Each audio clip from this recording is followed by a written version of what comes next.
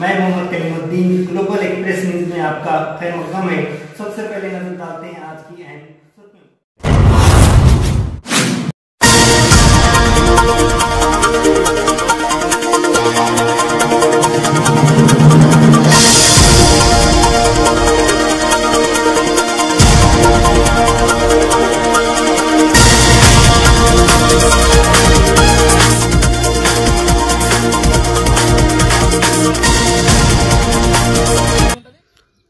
अब नज़र डालते हैं तफसील पर। ज़िले निर्मल के खानापुर में किसानों के मसाइल में दिन ब दिन इजाफा देखा जा रहा है। रियासती हुकूमत की जानब से धान की खरीदी में ताखिर और लापरवाही पर पिछले माह तूफ़ानी बारिश के सबब मार्केट अहाते में मौजूद धान की तबाही का मंजर देखा गया था। इसके बावजूद कुंटल से 30 किलो कटौती पर किसानों में बरहमी देखी गई। इस तरह किसानों के साथ सौतला सलूक और जुल्म पर मुकामी किसान बरहमी का इजहार करते हुए कोऑपरेटिव सोसाइटी बैंक पहुंचकर एहतजाज किया। बादजा डीएसओ से फ़ोन पर रब्त पैदा करते हुए इस मामले की शिकायत दर्ज करवाई, जिस पर डीएसओ ने जारिया माह की चौदह तारीख तक इस मसले को हल करने का तयन दिया। और साथ ही तहसीलदार ऑफ़िस पहुंचकर एक तहरीरी याददाश्त पेश करते हुए इस तरह किसानों के साथ नाइंसाफ़ी के मसले को जल्द से जल्द हल करने का मुतालबा किया। खानापुर से नुमाइंदे शहाबुद्दीन की रिपोर्ट।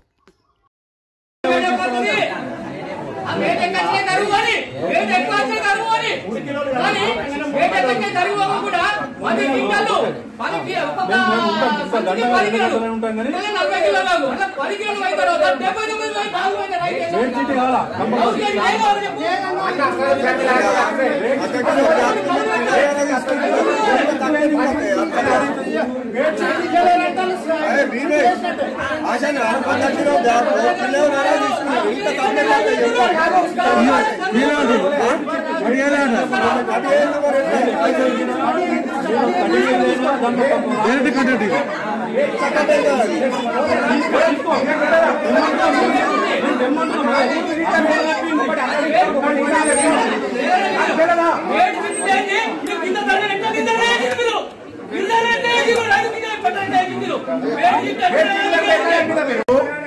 ఒక లక్ష ముప్పై వేలు కట్టాలి. ఐదు లక్షల యాభై మూడు వేల రెండు వందల ముప్పై ఆరు రూపాయలకు ఒక లక్ష ముప్పై వేల చిల్లర కట్ అయినాయి నా మొత్తం బ్యాగులు ఏడు వందల నలభై. క్వింటాలు ఒక వంద ముప్పై మూడు ఒకటి పట్టిలా ఒక వంద అరవై ఒకటి.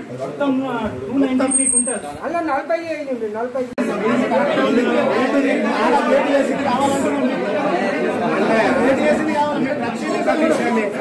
राईट वाला इकडे आहे का जाम चहा तुला आहे ना खाल्लाय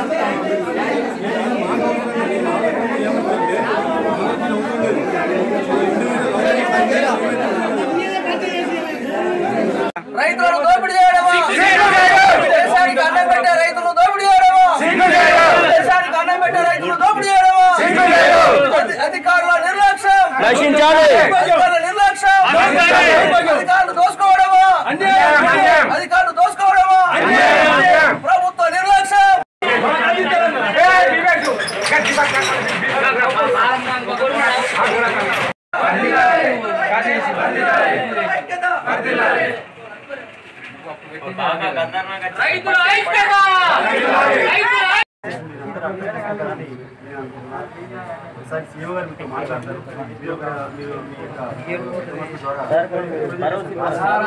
అందరు కలిసి కుమ్మక్కేసి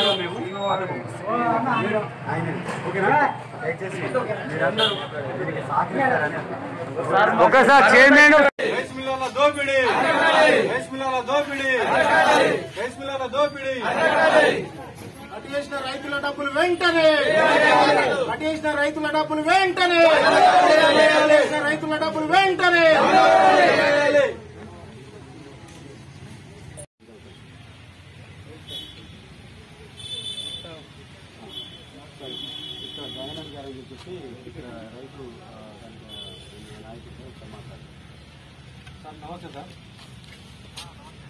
లేదు సార్. మాకు పిఎస్సిఎస్సి ద్వారా మళ్ళీ ఐకేపీ ద్వారా కొనుగోలు కేంద్రాలు ఏర్పాటు చేసేది ఆ ఏర్పాటు చేసి ఏర్పాటు చేసిన దాంట్లో మీరు ఎప్పుడు ఎప్పుడైతే పర్సంటేజ్ ప్రకారం అప్పుడు చూసి కొనుగోలు కేంద్ర కొనుగోలు చేసిరు ఆ కొనుగోలు చేసిన తర్వాత ఆ పోయిన తర్వాత ఒక్కొక్క కింటాల రైతుల ఐక్యత.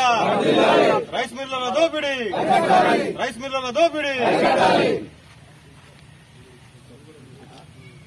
ఆర్ఐ గారు కొనుగోలు కేంద్రాలన్నీ సందర్శించారు బాగానే ఉంది. దానికి సంబంధించిన ఏర్పాట్లు చేశారు బాగానే ఉంది. ధాన్యాన్ని పంపించారు బాగానే ఉంది.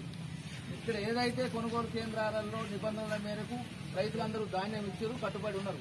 అయితే రైసు మిల్లర్ల దగ్గరికి పోయిన తర్వాత వాళ్ళు ఎట్లయినా మా దగ్గరికి వచ్చినటువంటి లారీ లోడ్లు ఇక తిరిగి పోవు. రైతుల యొక్క వీక్నెస్ ఏంటంటే పంట పంట- పోతే మిగతా పనులు చేసుకోవాలి. ఆరుగాలం కష్టపడే రైతు కాబట్టి అనేక సమస్యలు ఉంటాయి కాబట్టి అప్పులు సప్పులు ఉంటాయి కాబట్టి అవిటిని అవిటి కోసమే వాళ్ళు అమ్ముకొని మళ్ళీ అప్పులు కట్టుకోవాలి చౌకర్లకి వెళ్ళి వడ్డీలకి తెచ్చుకున్న కాడ ఇచ్చుకోవాలి కాబట్టి అలాంటి పరిస్థితి వీక్నెస్ను ఆసరగా చేసుకున్నటువంటి రైతు మిల్లర్లు మొత్తం విచ్చలవిడిగా దోపిడీ చేశారు. ఇప్పుడు అకౌంట్ సంబంధించినటువంటిది జమ చేసి పంపారు. ఆ పంపినటువంటి దాంట్లో దాదాపు ఒక్కొక్క చిన్న రైతు ఈ నాలుగు ఈ నాలుగు లారీలకు సంబంధించినటువంటిదే ఆరు లారీలకు సంబంధించినటువంటిదే ఇంత దూరమైనటువంటి దోపి ఉన్నది. ఇది మేము కూడా ఇస్తున్నాము. ఐదు లక్షల చిల్లర ఉన్నది. ఇది ఒక్కొక్క చిన్న రైతు ఇరవై వేల నుండి పెద్ద రైతు వరకు దాదాపు లక్ష యాభై వేల వరకు నష్టపోయేటువంటి పరిస్థితి ఉన్నది. అంటే మరి ఇవాళ రైతులు లేదా రైతులు దేశానికి అన్నం పెట్టేవాళ్ళు. మరి వాళ్ళనే దోపిడీ చేసేటువంటి వాళ్ళని ఏమనాలి? వాళ్ళు వాళ్ళు మనుషులనల్లా లేక ఇంకేమనాలి అనేటువంటిది ఇక్కడ సమస్యగా ఉంది. అందుకే రైస్ మిల్లర్లు అధికారులు కలిసి దోపిడీ చేస్తున్నారా? మరి ఎవరి వాటా? కింద నుంచి పైదాకా ఎవరి వాటా? ఎంత ఉన్నది? ఎందుకు ఈ రకంగా జరుగుతూ ఉన్నది? ఈ ముందుగా చెప్పేటువంటి నిబంధనలు ఏవైతే ఉన్నాయో కొనుగోలు చేసేటప్పుడే ఆ నిబంధనలు పెడితే ఇక్కడనే పాస్ అవుతారో ఫెయిల్ అవుతారో ఇక్కడే తెలుసుకునేవాళ్ళు కానీ అక్కడికి పోయిన తర్వాత ఇన్ని నిబంధనలు పెట్టేసి ఇంత పెద్ద కోట్ల వ్యాపారం దాదాపు ప్రకటించినట్టుగా పేపర్లు వచ్చిన ప్రకారంగా ఏడు వందల కోట్లు మొత్తం ఏడు వందల కోట్లు అని చెప్పేసి ప్రకటించడం జరిగింది. అంటే ఇంత దారుణంగా. అంటే వందల కోట్ల వ్యాపారం రైతుల మీద రైతుల చెమట చెమట పైన తీసుకున్నటువంటి వాళ్ళు కష్టపడుతున్నటువంటి వాళ్ళను కొట్టగొట్టేటువంటి విధంగా వాళ్ళను ఆర్థికంగా నష్టం చేసేటువంటి విధంగా చేస్తున్నారు ఇది సహించరాని విషయం. మేము మేము ఇప్పుడు ఏదైతే ఇస్తున్నామో తహసీల్దార్కి ఇస్తున్నామో మీ ద్వారా తహసీల్దార్ మీరు ఇవ్వండి. మేము రెండు మూడు రోజుల తర్వాత మళ్ళా రోడ్ ఎక్కితే అన్నదాత లోపల కడుపు మండితే అక్కడ రోడ్డు రోడ్డు ఎక్కాల్సి వస్తుంది మెయిన్ రోడ్డుకి ఎక్కాల్సి వస్తుంది. దానికి ప్రభుత్వ అధికారులు జిల్లా కలెక్టర్ బాధ్యత వహించాలి డిఎస్ఓ బాధ్యత వహించాలి ఇంకా ఉన్నటువంటి అధికారులందరూ బాధ్యత వహించాల్సి ఉంటుంది. మా బాధ్యత కాదు ఇది ఖచ్చితంగా ఏదైతే మొదట కొనుగోలు చేసిరో తూకం వేసిరో ఆ లెక్క ప్రకారం జమ వరకు కూడా మేము విడిచిపెట్టేది లేదు. ఖచ్చితంగా రోడ్ ఎక్కుతామని చెప్పి తెలియజేస్తున్నాం.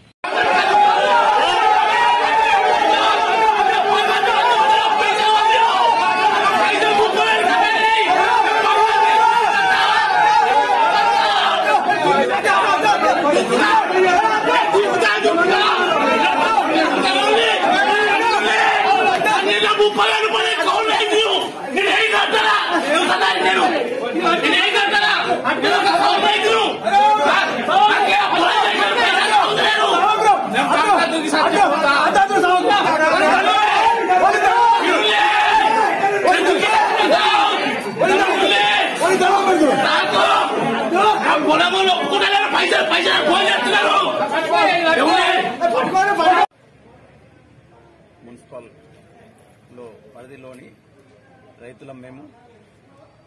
మాకు ఏసీఎస్సీ అంటే సహకార బ్యాంకులో అడ్లిచ్చినాం ఈ రైతును ఆసరా చేసుకొని ఈ సహకార బ్యాంకులు కానీ అట్లాగే రైస్ మిల్లర్లు కానీ పై అధికారులు కుమ్మక్కై ఒక్కొక్క రైతు దగ్గర లక్షల రూపాయలు కటింగ్ పెట్టింది. ఉదాహరణకు నేనే నా పేరు డబ్బా శ్రీనివాస్. నేను వండించింది నాకు ఒక ఎకరం ఉంది. సొంతం. అంతా కౌలు చేస్తా. నేను వండించిన పంట ఏడు వందల ముప్పై ఆరు బ్యాగులు. క్వింటాలల్లా రెండు వందల తొంభై నాలుగు క్వింటాల నలభై కిలోలు. దీనికి వచ్చి జమ అంటే నా నాకు వచ్చే డబ్బులు ఐదు లక్షల యాభై ఎనిమిది వేల రెండు వందల డెబ్బై రెండు రూపాయలు.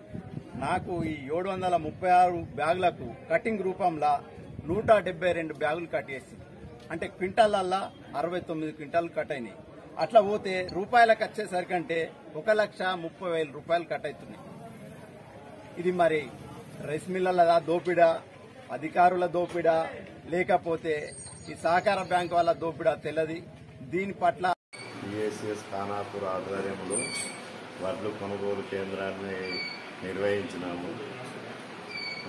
అన్నీ సక్రమంగానే జరిగినాయి. కాకపోతే లాస్ట్ మూమెంట్లో వర్షం పడి కొన్ని మిల్లులకు పోయి కొన్ని కటింగ్లు ఎక్కువగా జరిగినాయి. జరిగింది వాస్తవమే.